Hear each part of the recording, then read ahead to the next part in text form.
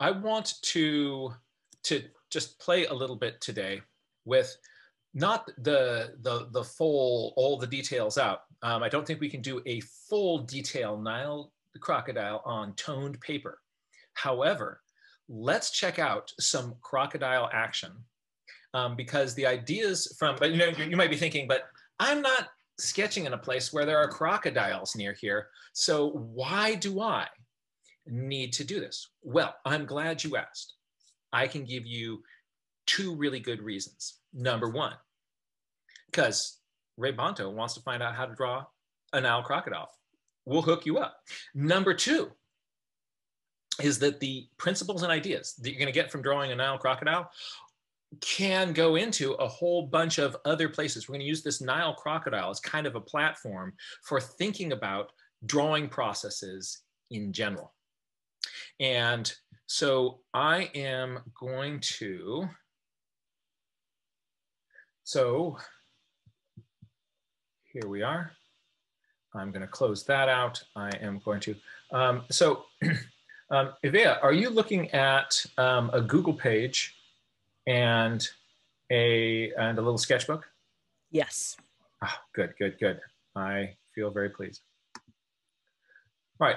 So first, I want to. Um, what I've done is I've just gone uh, Nile crocodile. I did a Google image search. So you go to Google Images, and to um, I want to get ones that um, can grow larger. So um, under settings, uh, or sorry, under tools, um, in a Google search, what I usually do is I go to tools and I just select ones that are large. And that means that when I um, zoom on those, um, they will, they'll be large. And I'm looking initially for some sketches of a crocodile kind of from a distant view. And so this one will do. Um, I'm looking for kind of a three quarter view of this. And here it comes. Wow, technology is amazing. So let's take a look at this little beastie here. Um, I have, um, let's take a look at the tail here. So here's the tail. There is, you see there's this scaly bar going up the middle of the tail, sort of this row of scales, and then it splits into these two wings that go along the sides. And then you follow those wings up, they get wider, and then you get two more ridges inside those. But we're gonna take this outside one and we're gonna follow it all the way over here. And the other one is there kind of disappearing around the side. So what I want you to do is to think of just sort of the shape, the geometric shape of this thing as kind of going up the side here, over the top flat, um, and then back down the other side. Over here on the side of the tail, we're gonna curve up, then go across this flat top, and then drop down the other side. Over here in the middle of the belly, we're gonna go around, it's sort of more of a big barrel shape here. Um, and the roof, instead of being flat, is a domed roof, arched roof over here let's block in this, this shape. So what I'm going to do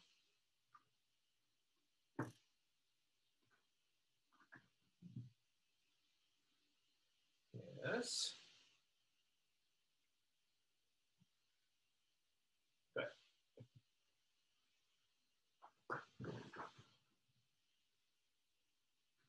I am going to draw in the shape of this crocodile. And here's, here's the approach that I'm going to do.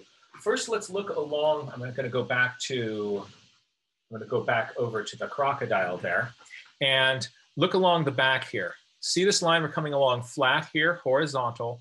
We're curving down and look at the shape of this curve here, right? Just here along the top. See that curve there? What I want you to do is just bring your finger up and trace this line on your screen a couple of times. Right here where I'm drawing. Trace that curve on your screen. You feel that? Right. Then feel that kind of come up on your screen to that flat. So what I'm going to do is I have something that kind of curves roughly like that on my screen. Now, um, I want to think of, um, so if that might be sort of one side of that curve, my tail here kind of comes up and then it's going to split into two. Now right here, I'm seeing the width of, of, of this, of the, the back of the crocodile here. Um, out here, if I kind of look across the back, sort of following the direction that, oh, here's, here's this, this is, this is gonna be good. Check this out. Look at the direction that this crack between the scales goes. See that? Now, take a look here and you see how these are kind of coming up at angle. So this is going flat. As we kind of get up here, we're kind of coming in at a at a steeper angle. Here, we're coming in very steeply down like this. So what I'm going to do is I'm going to think of on this that out here, there are, these might be some kind of guidelines about the back other side of, of this, of this curve. Here's one side of my crocodile. My other side is going to come down here. It's going to come around the same corner. And it's going to join this one here and off like that. Now the back of my, oh, actually let's, let's, let let's put in some of the, the side of this tail. So the side of the tail is coming straight down, maybe out slightly and it's disappearing in the water, but it's roughly doing something like, like that. So what I'm doing is I'm thinking of this as, as a three-dimensional shape that is cutting across here, down here like this. Behind our vision, it would be doing this. So I'm thinking of this as a three-dimensional shape here. right? And over here on this side, this shape would be doing something like that. Actually, it's thicker.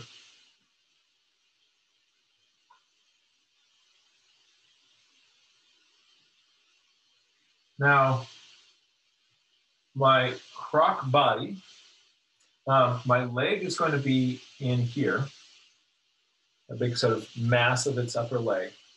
And then I'm going to have my body section up here. So I want to get this part here to be, this body section to be about the right proportions.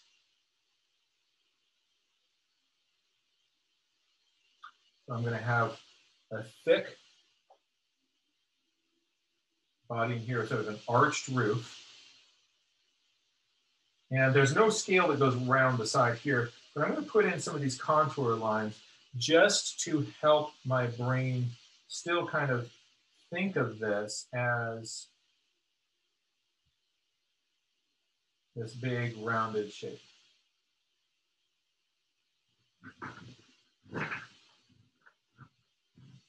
That's going to then, that big body section has a leg that is going to attach in here. And there's a little cylinder of a neck that sticks out from that.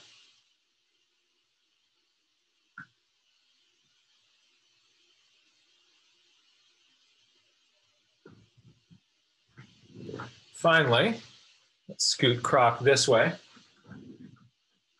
There is a head that is going to come comes out flat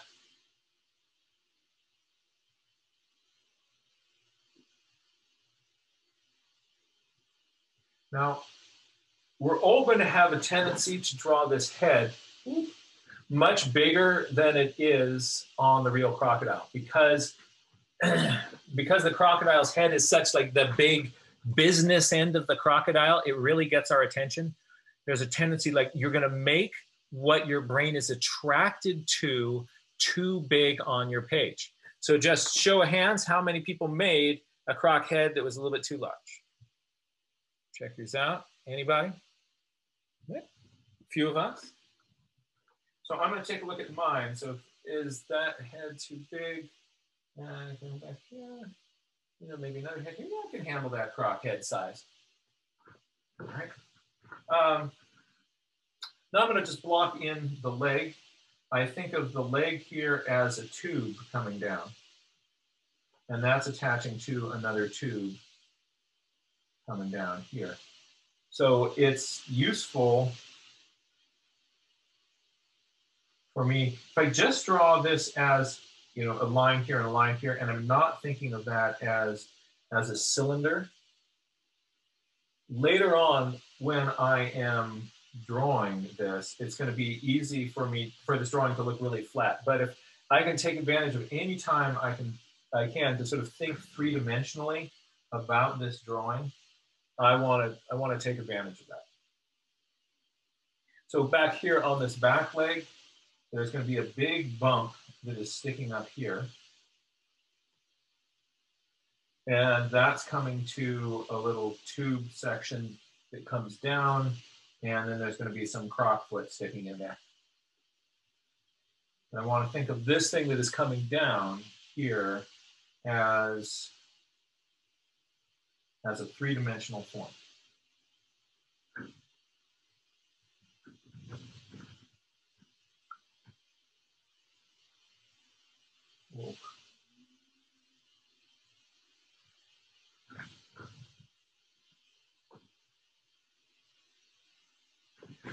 Once I've got that, make this croc a little bit smaller. There we go. Um, I want to just look back and forth at this croc and my croc, this croc and my croc, and say, where am I, uh, where is my croc off? right? Um, and you know, can I find any places where there's sort of major proportions or things that are are, are feeling weird? Um, for instance, the real croc, it's a little bit longer in here. Then mine is shorter on that belly section. So you see that, you see how my sketch here, this section of my sketch is shorter than the proportions on the other croc. And also, interestingly enough, this portion out here is feeling a little bit too long. So what if I just move this leg forward a little bit? What I'm going to do is I'm going to take this leg and bring it out here.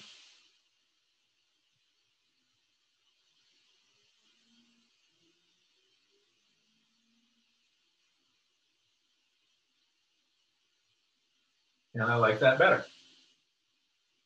So you see the advantage of me looking around my drawing for things that I can fix at this early stage is look at how easy it was for me to move that croc leg. If I waited later on in the drawing and had some detail in here, it'd be impossible to move my croc leg. But because I looked around, especially with the framing of knowing that for me, I tend to make like I tend to make my head too big and non-action parts of the body, like the length of the body here, like the tail's cool, the head's cool, and so I neglect my body. Um, so I want to just sort of notice the general proportions of what I'm doing. I once saw a guide to drawing and it had people blocking in stuff and then they drew in all their details. And as one of the last steps in the drawing, after all the detail is complete, it said, check your proportions. Um, the only reason you'd want to check your proportions at that point is just to make yourself feel bad because there's nothing you can do about it. But if you check your proportions at the start of a drawing, then you're able to fix those sorts of things. let's make this a little bit more crocky. Um, so other details of crockness on this is that in this area here, um, there's going to be a wing kind of going out of little scales. And I'm gonna have the same thing in this area here, but for most of this, it is gonna be pointing towards me. And um, so I'm not going to see the scales in this part as being as, as big as on the other side. So I've just got, I'm gonna have large wing on this side. This side here is foreshortened because it's pointing towards me. And then there's this cool, really, really cool um, zone as you kind of come down the tail here. Um, I have to make that tail shorter. Um, that has those large that kind of keel of scales on it. Let's see here. Oh, this is interesting. Yeah. Um, so I've got this height coming in here. This zone here, I'm going to make keels.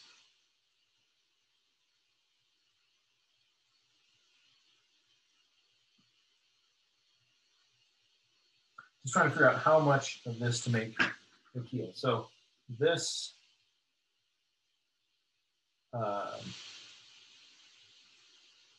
this croc where it's sitting like this. Now this croc is sitting partially in the water, partly on the beach.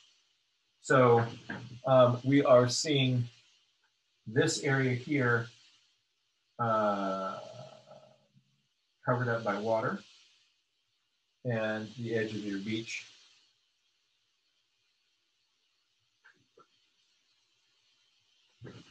I actually see less. This, but this want to know that that body would continue down underneath the water there, doing something like that.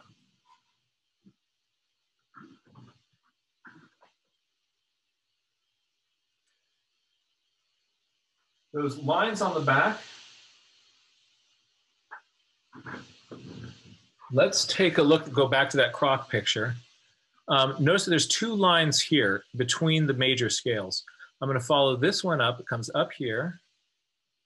And now there is, ooh, there's another row that is sticking in between this one and the outside one. But that this one that is coming up here actually traces up there on the back of this. So I want this line that is coming along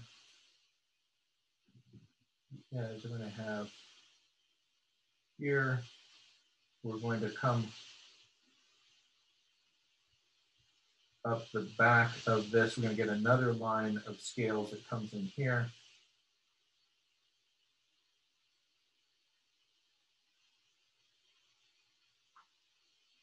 We place a few features. There's an eye. I want to get my eye in the right place. Eye close to the top, somewhere in there. And the shape of this mouth, let's look at that. So for this croc smile, there's one bump, one curve here, second curve here, and then a little curve around the front. Right? So one, two of about equal size and then small in the front. Let's take a look from the back corner of the mouth here and notice where it starts. It's all the way down here behind the eye. And it's about halfway down the head.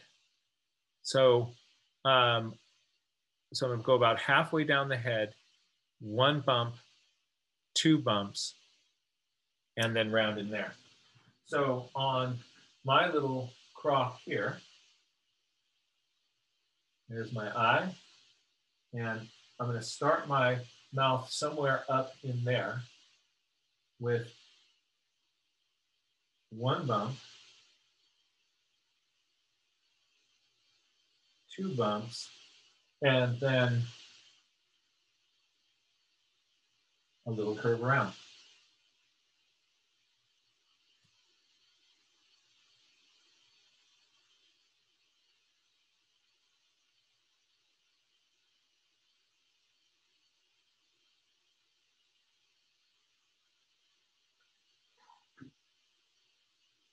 So I like to um, lay out a lot of the drawing before putting in details. So I get, like to kind of figure out like where the lines of the mouth go, these sorts of, features. That's going to help me later on when I want to um, to to be able to draw details. If I've already figured out where my details go, then I can concentrate on that instead of thinking about. Um, I, I, can, I can, I'm sorry, I can, if I already figure out where a detail, I figure out where my eye goes, then when I go in to draw my eye, it's going to be a lot easier for me. I can just focus on drawing the eye instead of also thinking about where the eye goes in that head. So that's that's a lot of kind of preliminary drawing and blocking in the basic the base the basics of this croc if I get in here now and I, I could get in here and just sort of start going scale by scale. Um, and that's going to take a long time. But I'm going to approach this a little bit more of a field sketch. And over this framework, um, I am going to be giving you a lot of lines that are going to quickly give you a sense of the kind of detail that I'm seeing on this crocodile. But I'm not going to be doing a scale by scale thing. If I were doing a scientific illustration, my approach would be very different. If I were doing a scientific illustration, I would count the scale rows. I would then, on my drawing, carefully map those out. And I'd have the right number of scales going up the belly, the right number of scales going down, I would be, you know, like I, you could kind of triangulate, like there's that scale and there's that scale on the drawing.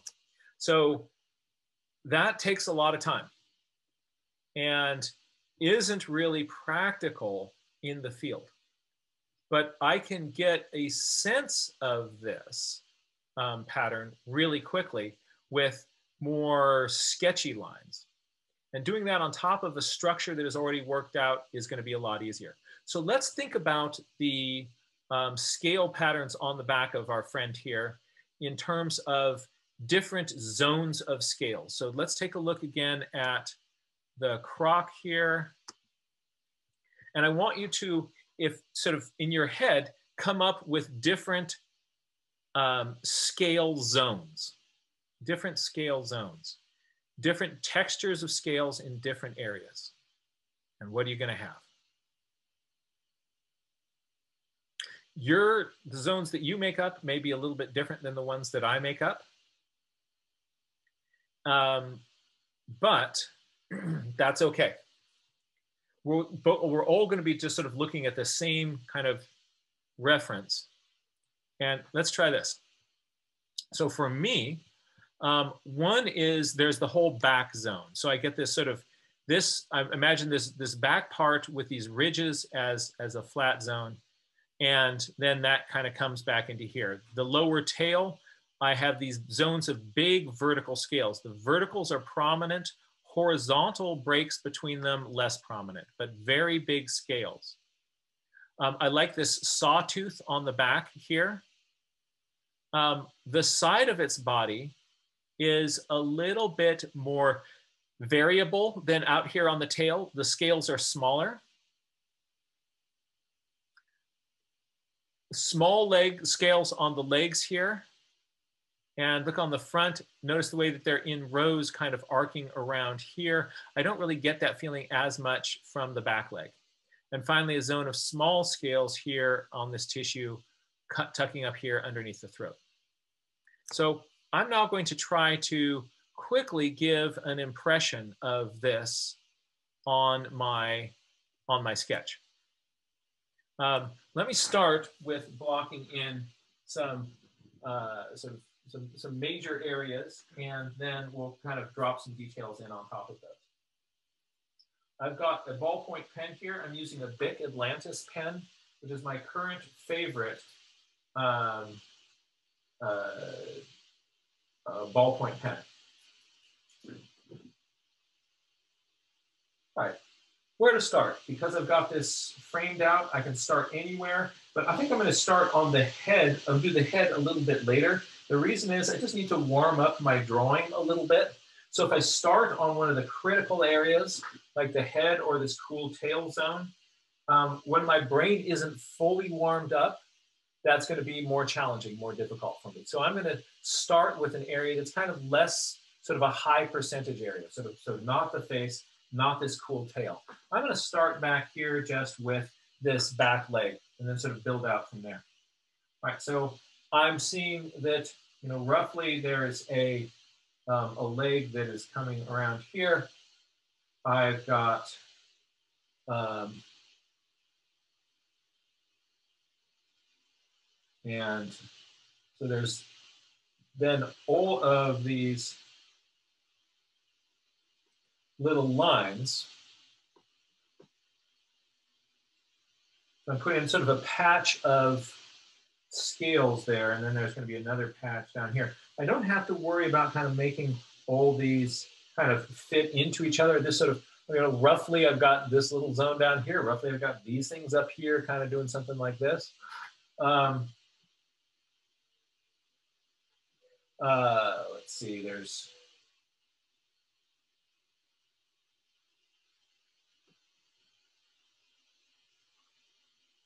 right. And now I'm going to do this front leg.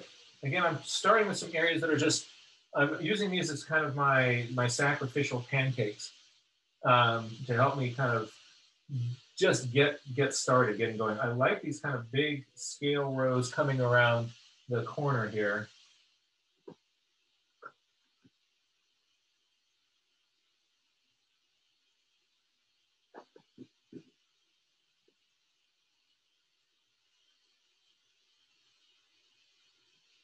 And now I'm going to kind of slow down and kind of get out here into some of these fingers. Right here, so here's a little, there's a little crocodile finger in here.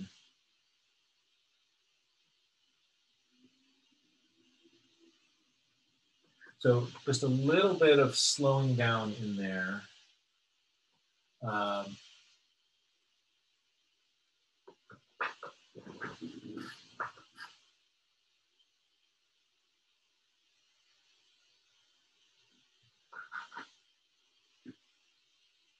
On this edge here, I punched in a little bit of a heavier line.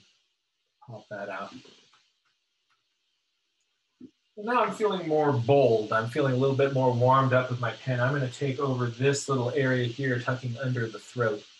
Um, and I want this to feel like it's skin that is kind of coming down and hooking underneath here.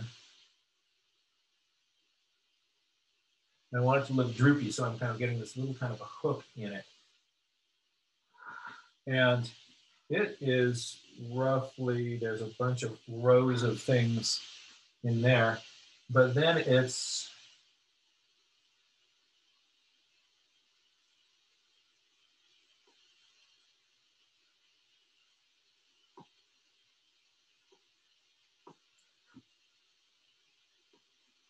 under the throat. Don't have to get in there and draw in every little bump. And that just sort of suggests a little bit of that kind of different warty texture. We'll do the side of the body here. Notice I'm starting with just, again, with areas that are just a little bit easier for me to do. How, uh, how is the, these, these, how are these scale rows slung? They're kind of coming out and then down, and then they're kind of tucking back in, out, down, tucking back in. And up in here, they're kind of coming down and. So a, few little lines like that are going to help me to sort of keep myself in.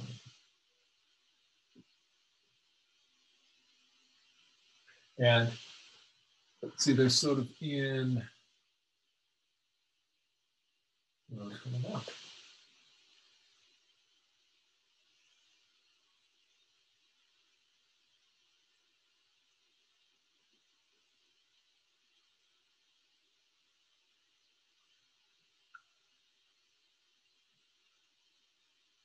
not getting in here and counting every row.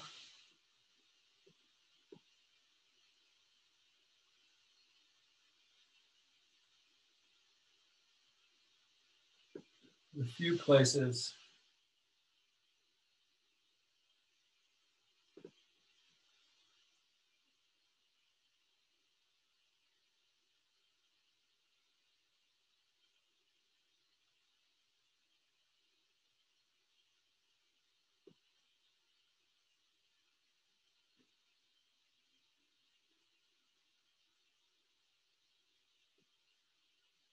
maybe around here.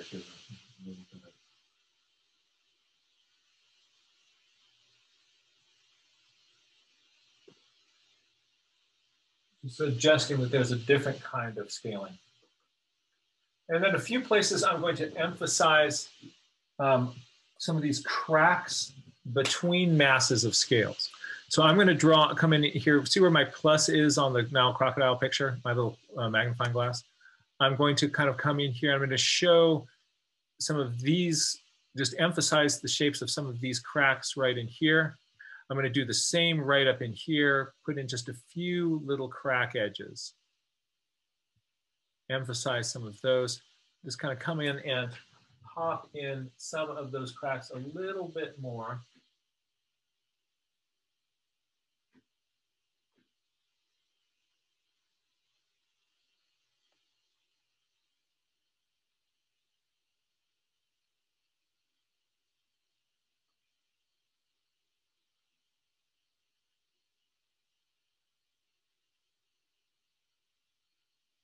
So not they're focusing on the the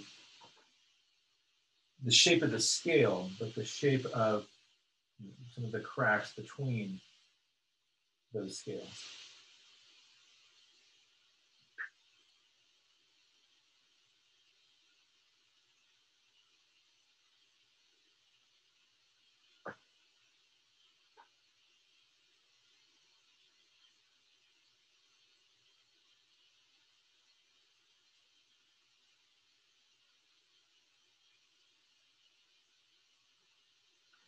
Now, I've been saving this part out here in the head for sort of later in the, the, the illustration when I'm kind of getting my, my, my feet on the ground more. I've now had a chance to do a little bit more drawing, so I think I'm going to be okay with, with playing with that. So I'm going to kind of come here. I'm going to make a little bump bump motion here. My pen. And notice that in here, I, I let in some gaps here. So on my little edge here, there'll be some places where my edge of my crocodile is going to be a nice clear line. Other places where my line, I'm going to go for a bit of a sketchier line, a lighter line that you're going to be able to see through.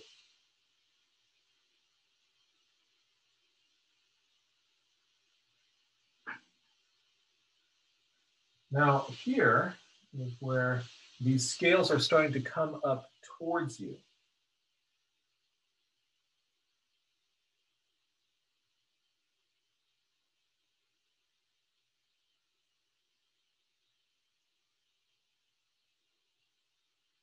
And on the other side,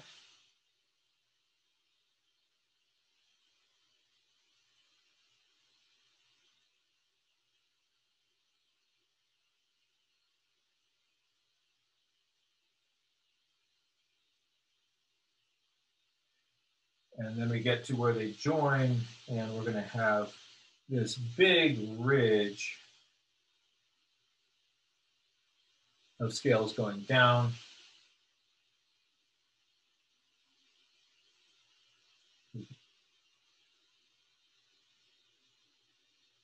That's cool.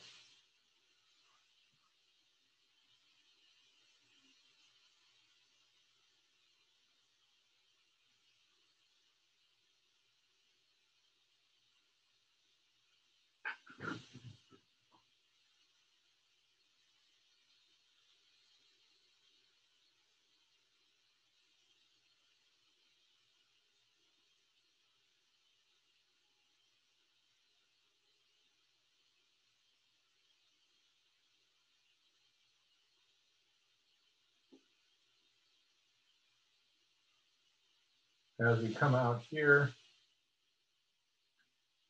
this, these are the lines a bit closer together.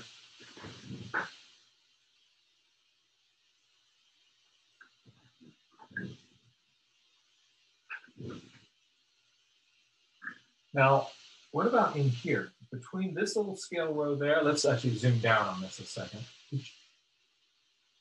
So again, zoom down. Oh, you're not wanting to zoom, are you? Ah, what if we do this? There you go. All right, so this area in here, I want this area to read as a flat surface that is going around and turning. And those, those, those lines across those scale rows are going to be very helpful. So I'm going to draw in one out here. And then I want to think of as we kind of come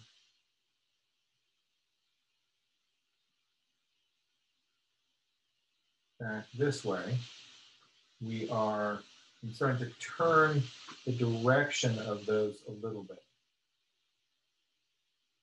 And similarly, as we're going up this way, I'm going to start to get some of these lines, they're going to be tilting up in this direction as you go up in different areas.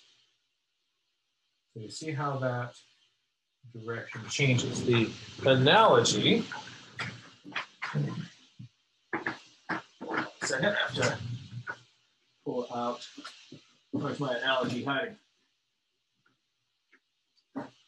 Uh-oh.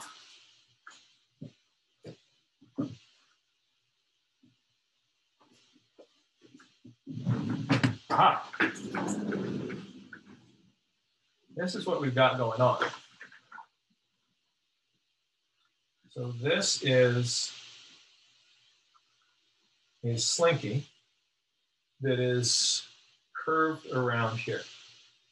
So you're seeing look at the direction of the ridges of the slinky as it goes around. You see how those change?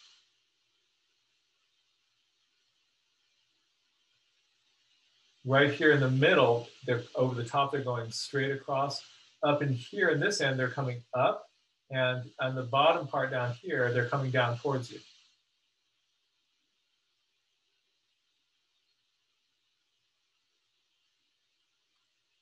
So I want to get that curving slinky action going on on these.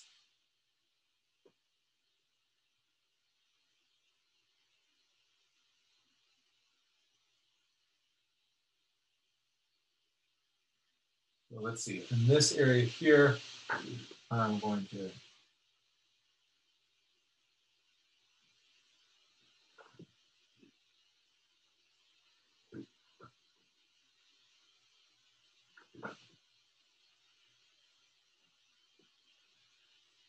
that, that area ends up being really important in helping this sort of read as curving around there.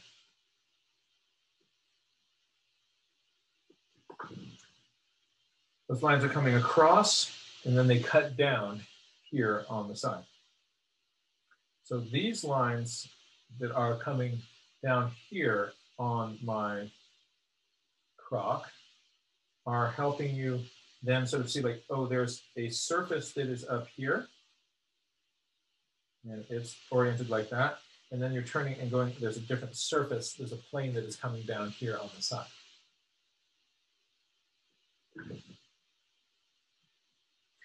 When you get right up here into this corner, what angle are they going to be going at? It's confusing, hard to tell, right? There, I know how to make these lines coming down.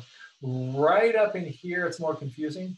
Notice that I'm not putting them in there. And let's look at the croc picture. It's You look at that and it's harder to see just like what is kind of right in here, which way is that? Uh, am I seeing a change in that line? Hard to tell. So I'm just leaving that kind of confusing place out. Um, and it's still gonna read. Now, I want some ridges going up the back of my crocky friend.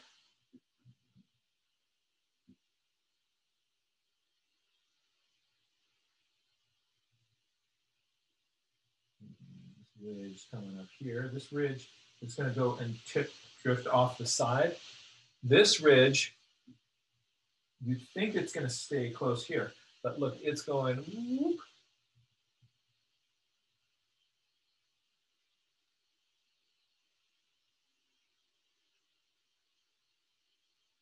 this one here on the side comes up to about here and forks.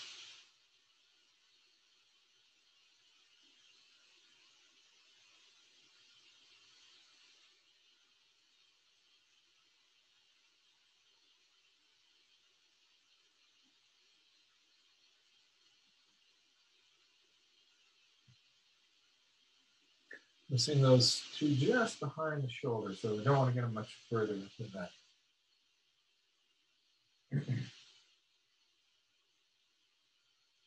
now, um, let's go into the head.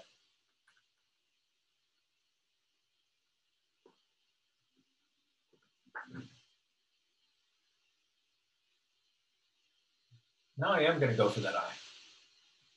Um, so what I want to sort of simplify is that I have, there's a ball of an eye in there. And there is an area of hard skin and eyelid that comes over that.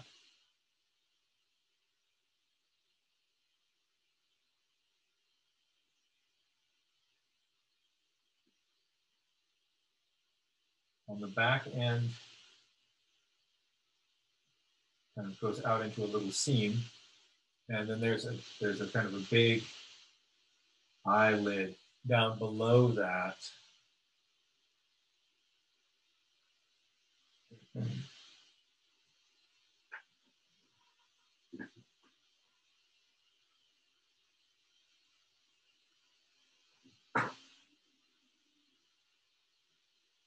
So that simplified down there. So I'm going to emphasize this little ridge over the top, seam in the back, and with a little bit of an eyelid.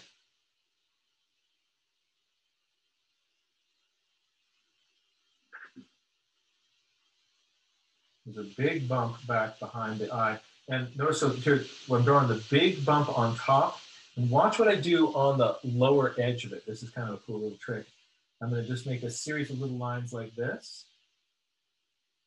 And that is sort of suggesting that, oh, look, there's this, there's this thing that is coming up and the edge is, here's this wrinkle and here's the bottom edge of it. It's not going to make a hard line, but I can make these little lines across it. And you of get a sense of the edge of that, that line. So here's another big scute on the back. Oh, it looks so skewed. Come on.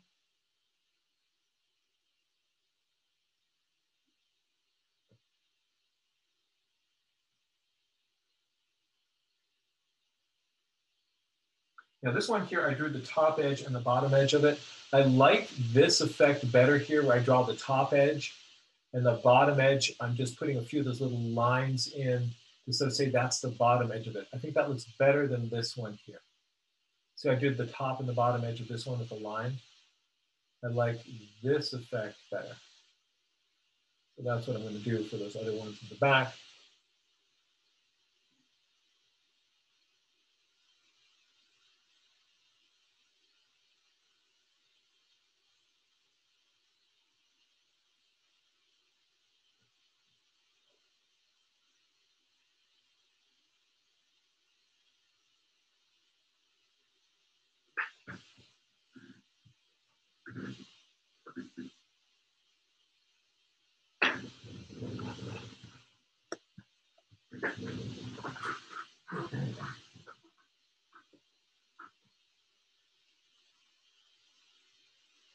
Right.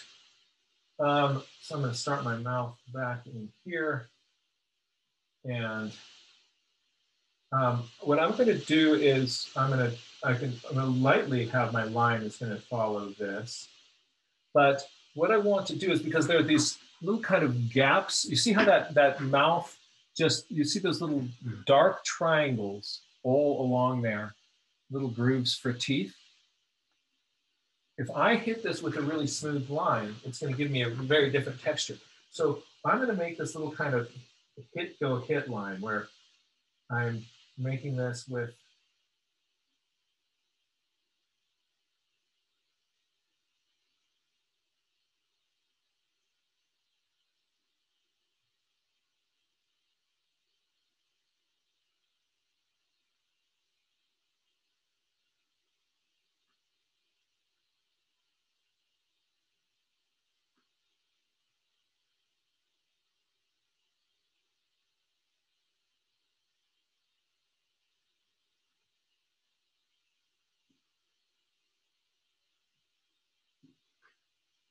first time I went to Tanzania, um, we were camped along the side of the Grumeti River. And after a long day in a vehicle, I was really glad to get out and stretch my legs and make my way down to the, the river there.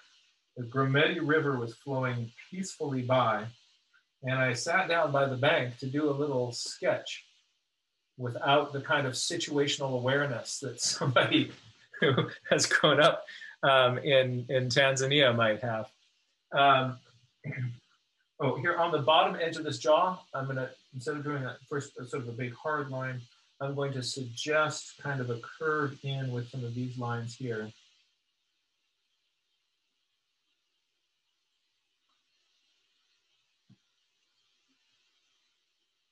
Um, so I sat down to sketch, and there are these uh, the you know a beautiful muddy river flowing by, uh, and there were logs on the other bank that I put them in my sketch. Um, and um, later on, when I looked up, um, I uh, I noticed that the logs weren't there anymore.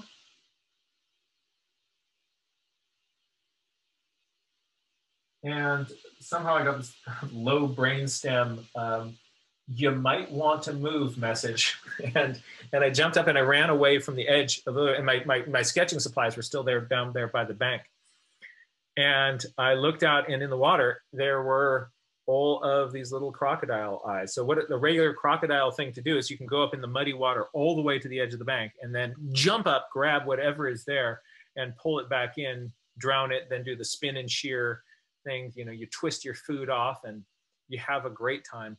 That would have been a uh, unfortunate end to a nature journaling career uh, right there by the side of the Grumeti River. Um, but it's just so interesting to be, you know, I've I've grown up in a habitat where I'm essentially top predator, and you can plop yourself. Oh, look, there's a pretty river. Let's go sit by the river, right? Um, just fascinating to be in a place with different rules. Right. Um, there's a little head on my croc. And now I'm just going to put in, I have a little bit more fun um, to kind of wrap this up um, with a Tombow pen. And uh, what I want to do is notice where the light and shadows are. So Take a look here in this well by the tail, shadow zone in there. Shadow coming underneath here on the leg, underneath here on the leg. Squint at this picture and you can see a little highlight in here where my uh, pointer is. Um, highlight up in here. Um, we're getting some shadow zone here along the side of the croc, darker down in here. Shadow goes all the way on there. Um, up in here, shadow more focusing on the underside here and on the underside of the head. Um, so what I'm going to do is get my little Tombow pen, Tombow brush pen. So these are cool little brush pens. This is a N75.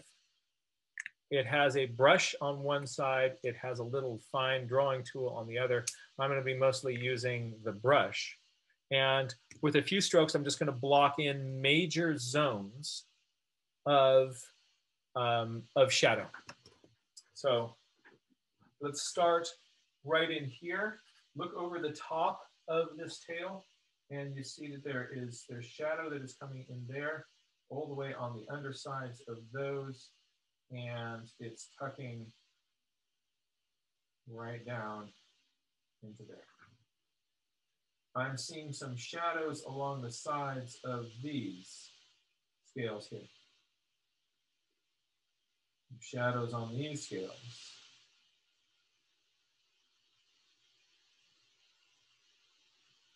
Down here in front of the leg, somewhere in here, my shadow disappears. I'm gonna put that down.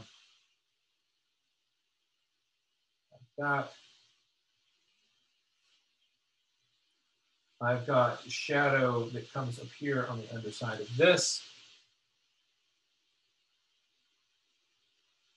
I might want this shadow in here to be a little bit fainter, but I'm only working with one.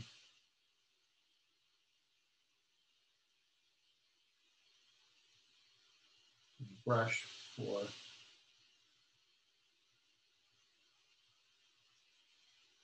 my shadow right now.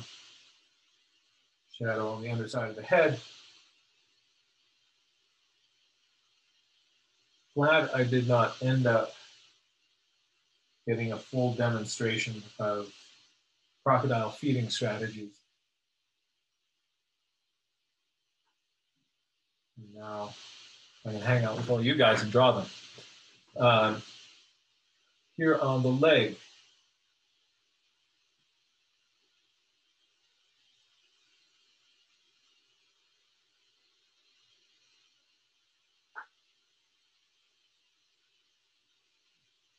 And lastly, on the tail here.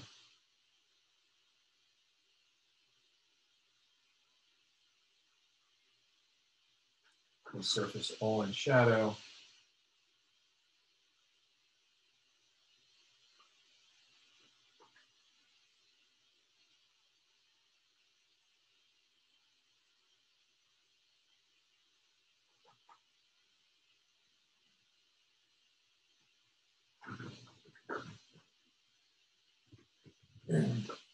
Look at this.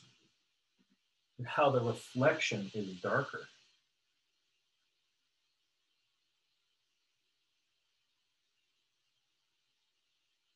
Ooh.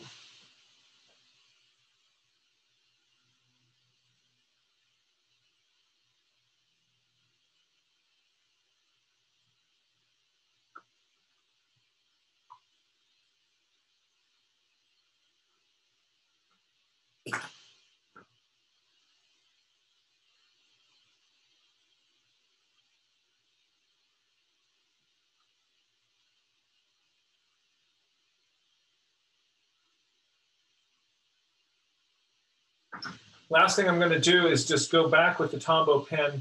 And if I give something a stroke once with the Tombow pen, it's a medium tone of gray. If I hit it a couple more times, I can punch in some of those darks.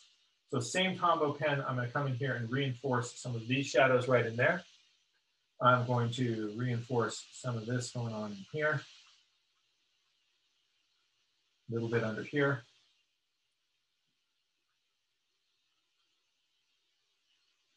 Um,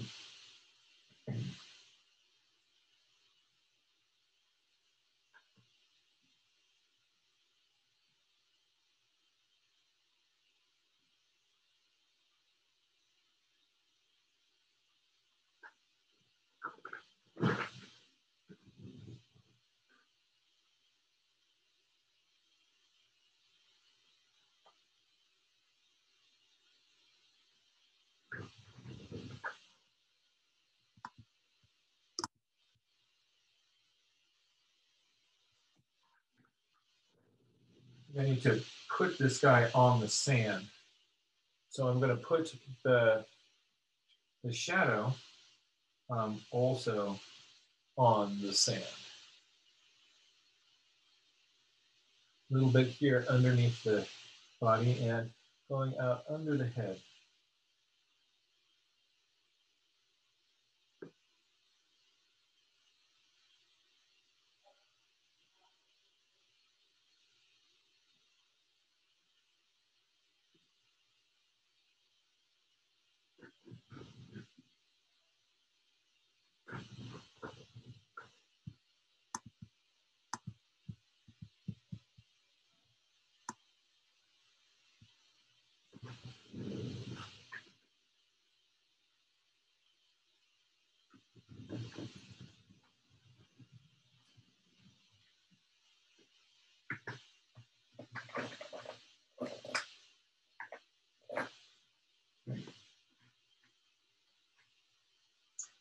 Final step, I might just come back in with my ballpoint pen, or if I have um, a heavier marker handy, I can put in a little bit more line variation. So some, that little bit of heavier line pulls that tail in front of you.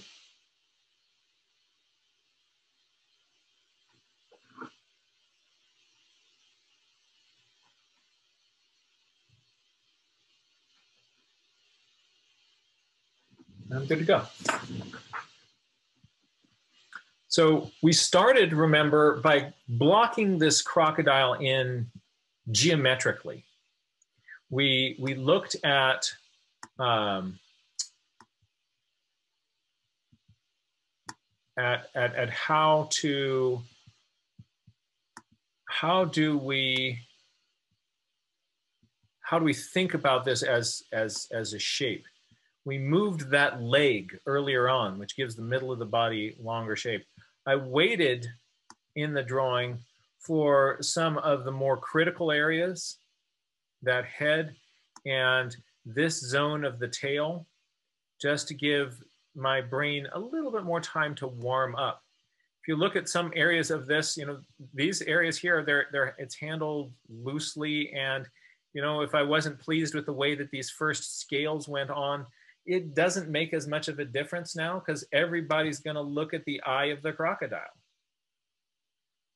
And um, so there's two schools of thought, and I bounce back and forth between each of them. So one school of thought is is do the eye and the face first, because if you can kind of get the thing looking back at you, then it's really going to have that right feel. Yeah, that's true. And also sometimes it's useful to do that zone last because then you've had a chance to warm up. If you've been out sketching crocs all day, it's okay to start over there by the eye because by then you know, your, your, your eye, your hand are all warmed up. But um, if you um, if you instead um, are sort of starting out and you, you need to kind of a little bit of kind of warm up time, it's a great idea on a sketch to play with some low percentage areas um, those areas where not everybody's eye is going to be immediately drawn to. So maybe work on that leaf over there before the heart of that central flower. We always start with the flower that is the coolest one right in the middle of the picture. But what if you started with that one off on the side? Then you've got that as warm up by the time you get to the other one.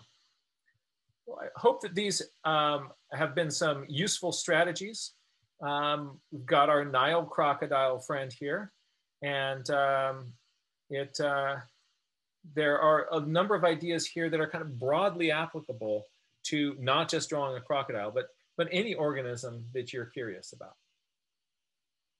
Um, let me, I'm going to escape here. Stop share. Hi. Um, I'm gonna grab, so the, the approach which I, I, I showed you today, um, that was what I was doing um, over uh, the, the, the weekend.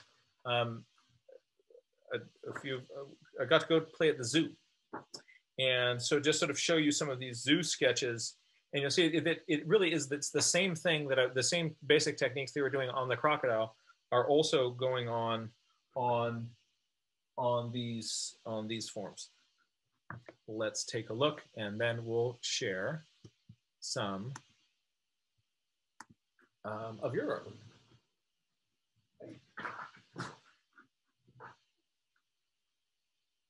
Okay, so here is, uh, so this is, is um, pen gorillas, and then that's the Tombow pen. This is the N75 um, that is just kind of coming in and adding a few areas of tone at the end.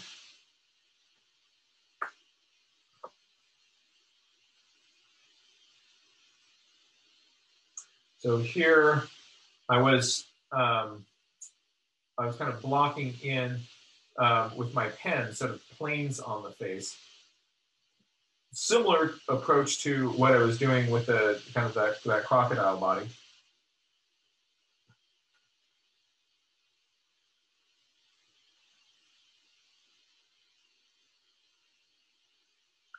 Uh, this bear up here is the one that I think is probably the, the most similar to this technique. Let's zoom down on that bear.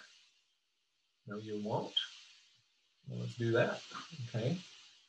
Um, where what I did is I, I built a framework for this bear and uh, which is essentially there was a barrel in here that I had sketched with this barrel of the neck coming into it. And then I put this plane of, popped up this little, uh, this hatch at the bump on top of the shoulder. Originally, um, there was uh, my, my, the, the belly was down much further and I moved it up a lot. I actually think on this sketch, I could have moved it up even further. If you look at where that neck comes in, it's right there at that belly level. Um, so this one's neck.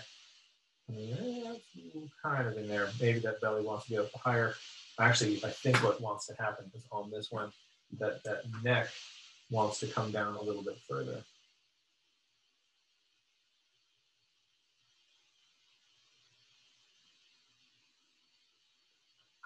All right. Um, hey, that worked.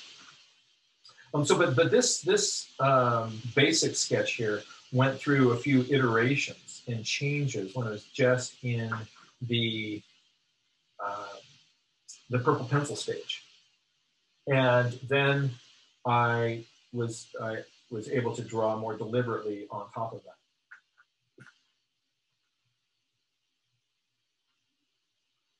Oh, black bears. Um, and that is fun with a Nile crocodile. But should you find yourself peacefully sitting by the banks of the um, Grumeti River, I just want to remind everybody that a little bit of social distance from the edge of the water is advised. Um, you don't want to end up like the elephant's child, um, you know, playing tug of war with a, a, a crocodile, um, even if you have an insatiable curiosity. Thank you all, and, um, and, and thank you all so much for being here. The, in just a moment, we're going to be doing our group share I want to um, also thank uh, Ivea again for helping support me um, in these, these, these workshops. It really does take uh, two of us to, to run these sorts of things. There's a lot that kind of goes on on the, the, the back end and um, that, that really supports it. Um, Ivea, I really appreciate your, for the community safety and also the content in the, the, the chats and what you add to it. Um, I'm really grateful for you helping me with every one of these workshops. So everybody give it up for Avea. Thank you. I'm, I'm, thankful to be working beside you. So I've always got your back. And thank you for letting me be here with you. I'm so no. thankful for this. I, I, I feel that. You do have my back. I really appreciate that. Always. Um, so everybody out there, be safe, be kind, and um, and and create art. Let's go play in nature, just with some social distance from the edge of the Grumeti, and uh, it's going to be a lot of fun. I'm now going to remove my spotlight, and we are going to jump to our gallery view. Um, folks, I have until um, 1.30, um, and so we're going to do uh, just kind of a, a, quick round of shares, and then I'm going to have to jump off. And um, and uh, so let's um, I want let's let's let's share as much as we can, and then let's, um, I'm going to start with Heidi. Um, Heidi, hey, good to see you. Oh, oh, we need to make you able to unmute yourself. Sorry, my bad. Um, you can now unmute yourself. Sorry about that. Oh, but we we still can't hear you. There's a, a unmute button um, in the on your screen, perhaps. But we can see your crocodile. Um, that's really fun. It's nice to get to drop the colored pencils in on this. Um, and uh, in life, in the field, uh, crocodiles have these wonderful browns and greens uh, mixed in with them. Uh, when they don't want to be seen, they're not seen. Such, such elegant, primeval creatures. Uh, I'm afraid we, we still can't, can't uh, we don't have any audio.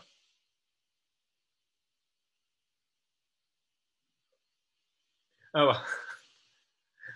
um, I'm going to double check. Um, but thank you so much for sharing this. Um, I really appreciate it. It's so good to see you. Yeah, look at how those colored pencils just add a real a real punch on on something like this. Um, let's let me um, see here. I'm going to jump to my gallery view, and um, Bill, um, oh, there has been some, but looks like some botanical shenanigans happening here. Um, let's yeah, see what's that's right. Yeah, it's actually Sharon. I don't know why my husband's name came up, um, but we are here in Southeast Michigan undergoing what I always refer to as the plague of seeds because the um, American elm the Siberian elm and the Norway maple are all producing massive amounts of seeds, which clog our gutters, um, germinate in our garden beds, need to be swept off the patio. So this is our our current situation. oh, that's that's really that's but it's on on our end it's fun and we get to see uh, the results of it. I love how you are, you're really showing something that is, this is what is happening in this season and what is special about this in this place and time.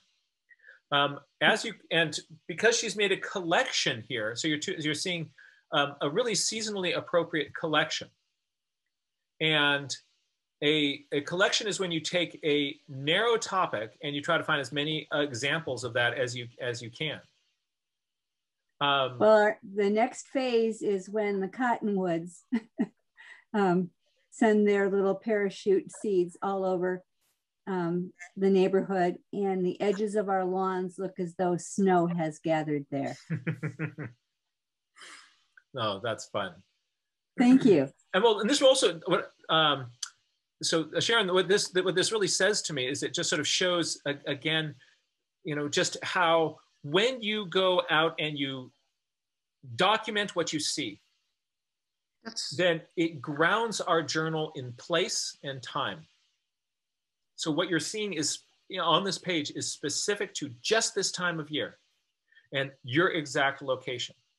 And so as far as um, as, as a meditation moment, you are here and now um, with this journal page. And um, thank you so much for sharing that. Want to encourage more folks out there to get yourself a little collection of whatever is happening in your neck of the woods um, right now. Um, let's see. Um, Walters. Um, oh, what's been happening on your journal page? Yeah, so today uh, I was just uh, the whole days were very busy and I didn't get a chance to go out and do any nature nature journaling. But this uh, today in the evening, I went to the harbor Wall, and uh, I was like, it's the fourth of May here, and it's uh, like the Independence Day here. So I was like, oh, I have to get something special for the Independence Day here in Latvia. So, uh, so I was walking on the harbor wall, and suddenly I see this like kind of black thing which which I thought was a rock. It was like sitting on top of a rock. And I was like, hmm, that doesn't look like. I put my telescope up, and it's a black guillemot. So the those are very, very rare here. So it's such a cool bird to see. I only seen one before in Iceland, so it's such a cool bird, and to to get a chance to draw it, it was uh, very very fun. I love also the the view from the front. Um, with a the notice how Walters has put in the eye shapes here. Really looking at we tend to just put in automatic circles for bird eyes. Sometimes they are, and sometimes they're not. Um, but through a spotting scope, you can kind of pick up those kinds of details. I also really like just that little kind of hint, hit of the little kind of wrinkle in um, the, the surface right around the eye. It really places those mm. into the head. Yeah.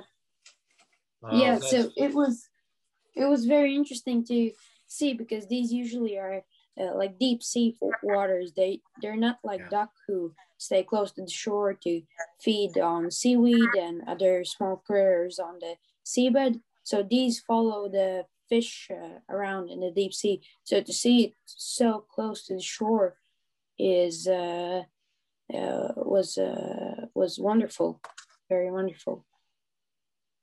Great. Yeah, and I I put it uh, on the internet that I I've seen it, and uh, everybody's going nuts. Right everybody's now. going so nuts and heading out there. Everybody's going nuts. So I, I ah. called my friend I called my friend who's an ornithologist, and he's doing a big year this year, and he hadn't seen this bird, and I was like, uh, "Hey, you know what I got here?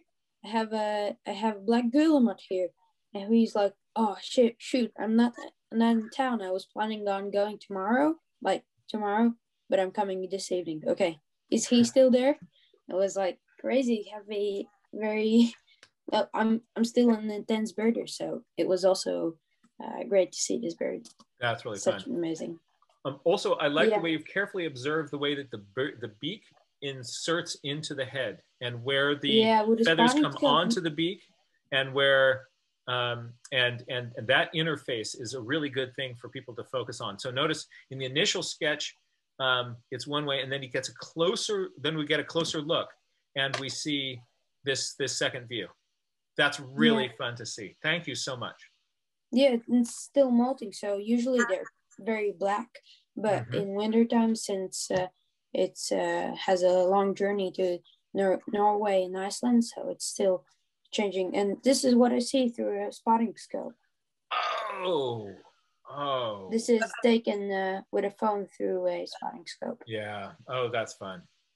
Um, and if you ever get to look inside the mouth, if it ever yawns while you're there, you're gonna freak out. Yeah. Oh yeah, I'm no spoilers here. No spoilers here. Okay. I'm just saying that should you okay, see I'm that. I'm gonna go back tomorrow. Maybe okay. That's great. Hey, thank you so much for sharing this. Thank you. Um, and uh, before I have to sign off, I want to jump over to Ray Bonto um, and see. You are the reason we did um, the the the crocodile today, and um, let's see what you've got. All right, uh, I have a lot to share, so I'll just flip through uh, quickly. So, um, yeah. Yep, I, I get a sense of the planes on the body, the heaviness. Um, I also like the way you've kind of created that modeled surface with your watercolor application. You really get a sense for that, um, the, the blotchiness of this. And boy, you could fit inside one of these, couldn't you? yeah, I usually have a V3 um, thing, uh, a sketchbook because you don't have to worry about portability, and that's the great thing about having a practice book. Mm-hmm. So that's right. So Ray Bonto has a practice book for at home where you can have big paper, so you don't have to worry about portability when you're going out in the field. But then when you're just practicing and rehearsing things, you can you can build that all up in the field. Let's see what else is going on here. Okay, oh boy. Uh, here are pigeons. Then I went to some park and I saw there was a coot nest, so I sketched that. Oh, wait, wait, wait, wait, hold on. Let's pause on this coot. Let the camera focus. Yeah. Hi, you're, the way you are seeing light has really progressed. I'm seeing just the, the light reflecting on the water and you're just letting those, um, you're, you're putting in what you see, your values and the way you're seeing light in um, recent, and in, in this page is, is also advancing and developing. So not only your understanding of the anatomy of these species, but um, you're seeing, you're observing light. This is, this is. And then I, um, okay, um, and then I, um, and these ducks, I saw uh, some a little heron in flight. Mm. And, yeah, it's, that's a tufted duck. Um, and, no, that's in Melinda's class. Oh, could, could, is it okay for us to see the um, the the uh, the artichoke as well? Okay, fine. Yes. Um, oh, wait, wait, because this is exactly what I was talking about with the light. You are seeing light. Yes, this this is. I'm I'm I'm I'm I'm seeing just a whole new progression in your observation skills. The way that light falls across this. Look at that sort of change from left side of the artichoke to the right. Um, placements of highlights, dark values going in. Um, the I you know you you you feel with the zucchini that you feel its dimension because of the careful um, placement of the, the, the the lights and darks on this. So really excited to see um, this. This is this is I, I feel like a, a whole breakout area for you. We're seeing a new aspect of your um, development as, uh, as an observer, Ray Bonto. That's exciting to see.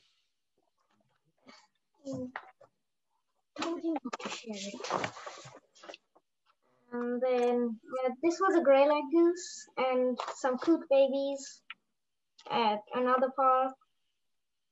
Uh, those coot babies are outrageous with those little yellow hairs. Yeah. Did you have it in your spotting scope? Um, and so uh, then I, today I went out and when I came back, I saw a rainbow, so I sketched that in. That's great. And ah. uh, on Saturday, it's a Celestron 52228. If you want an angled, you can go for the 52222. Two, yeah. And what's it like for you to uh, sketch through this? Yes, if only it was angled, that would finish it all. But um, everything else is it's great. It can go, it can zoom in from 15 times to 45 times. Mm-hmm. And it, uh, it can focus to uh, the closest focusing point is 19 feet. That's great. That's great. Oh, this is this is exciting. This is going to open up some really interesting doors. Yeah. Really interesting doors. Jack, I've always wondered uh, how did your Vortex Razor one uh, spotting scope look like? Uh, because um, the picture in your book, I'm I'm not sure if that was it or was it your bigger one. Oh yeah, yeah. Uh, in in the book there, I'll, I'll, I'll grab my smaller one for you and show you. Oh, also just to let you all know, this this is going to probably be an awesome discussion, but also time check. It's 1.32. I want to make Ah. sure you're not late to wherever you have to go. Okay, so um, I'm going to have to show you my spotting scope on a on a different on a different day, um, but um, the this is this is this is going to be a great tool for getting birds in your lap. Um, the another thing to consider is a um, a, a a tripod with slightly longer with longer legs so that you'll be able to set it up on the ground and either stand there or sit on the ground. With this height, if you put it, say, on a picnic table, you can look through it really easily. Um, but um, it can be, be hard. So consider a, you can get, um, I, I, I often find tripods also in secondhand stores. So there's a lot of people giving out used tripods. Um, or you can also find a kind of a, a, lightweight, inexpensive one. You want one that allows you to be able to, to sort of, uh, hold on a second. I'm going to add into, so you want one, if, if, possible, where you can set it up so you can look through the scope like this and be stand there sketching like that or you can lower the whole scope down, sit in a chair and have it, you can set it up so that you're, sit, you're sitting comfortably and the scope is here and you can just look through it and draw, through and draw. With, with the, the, the, the, the mini pods, then what you have to do is you like, you get down on the ground and you, you, you look through it. And that's, that's a little bit more difficult if the ground is damp. Especially if it has a straight one. Yes, yes that's right. Um, but but this uh, Ray Bonto, this tool is going to open up all sorts of doors. You know, you think your birds are close with your binoculars. You're going to be seeing like the the level of detail that Walters had in around the the the the, the mouth of the guillemot, the the gape of the guillemot. You'll be able to to see all that sort of information and be like, oh, it's going to be so much fun. Um, Arpan, this is a, a, a wonderful gift um, to extend um, Ray Bonto's uh, interest in, in ornithology and in, in nature journaling and sketching. Um, this is, is just the, the, the, the, the perfect thing at the perfect time. That's fantastic. Thank you. Thank you, Jack. Hey, it's really good to see all of you. Um, I'm afraid I'm going to have to bounce right now. Um, I'm going to, uh, Ave, is it all right if I um, make you the meeting host? Do, yeah. Are you able to, to, to stick and for more folks who want to share? Yeah, that'd be fine. All right. And I will be able to, um, uh, you're now, you're now the host. Um, and I will be able, I think on the recording later to be able to see what other people shared my friends, take care of yourselves, take care of each other, take care of this planet, and find an opportunity to go out and celebrate the beauty and wonder of what is around us. Um, I want to encourage everyone, um, when you are able, to um, get yourself vaccinated. The, um, the, the data is clear that this is, this is a um, th this is it is it is safe to do. And the more of us that do that as a world society uh, we're going to be in a much better place to be able to to to approach this this problem together. Oh and i got to put this on just before i go. Um, i see um, oh, uh, uh, uh, Evea, could you um, uh, could you spotlight Ray Bonto? Absolutely. so um, I just want to hold on a sec.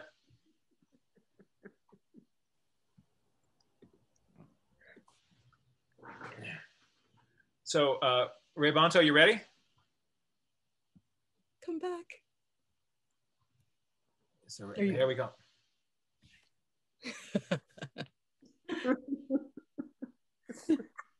I think we've we've we've got a new friend. Right. so yeah, that's right. So um, we're a group that that is is strongly in support of sock puppets. Um, ready? So oh yeah. Um, so uh, it's, it's really good to see you.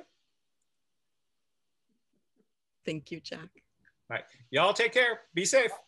You too, Jack, and thank you. Bye, Jack. Take good care. Bye bye, my friends. Did anybody else want to share um, their journals today? Um, th this is Heidi, and I I uh, have said um, this is so amazing because I have seen these in the Everglades, and that is where um, that that is where it's uh, it, it's really scary. And um, uh, my husband was very close to one, and it was uh, something that was just amazing. So this one was really happy for me. so that's all. Thank you. Awesome. Thank you. Isn't it interesting how like how it changes us when we draw things that are frightening? How it might change how we view it or how we connect with it. Yeah. That might be kind of a fun challenge. Not not like with any sort of due date, but just something to consider if anybody's ever looking for nature challenges. Find the thing that scares you and then try drawing it just to see what happens, just to see what happens for you, for your emotions. I just want to say it's always good to be with you. And I hope everybody has a safe and happy rest of your day and find that thing that makes you feel calm and safe and or excited and safe. It doesn't have to be calm, but the thing that makes you happy, okay? So were you about to Cindy? Sorry.